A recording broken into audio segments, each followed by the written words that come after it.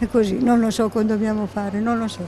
Siamo stanchi tutti e tre, noi siamo stanchi, vogliamo andare nella nostra casa. Il dispiacere e la rabbia rignano negli occhi e nelle parole di coloro che vorrebbero solo poter ritornare a casa. Ne abbiamo bisogno, ci dicono coloro che sono stati sfollati dopo l'alluvione del 2012 che ha provocato il crollo di un tratto delle mura cittadine. Quando vi hanno mandato via di casa? di novembre 2012.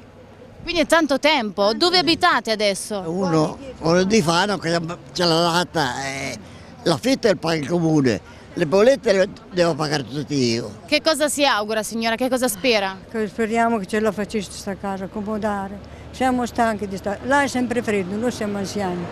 Vogliamo andare nella nostra casa e basta. Siamo fuori casa da due anni, abbiamo bisogno della nostra casa. Qui ci sono diversi problemi da affrontare, uno di questi è tutelare le famiglie.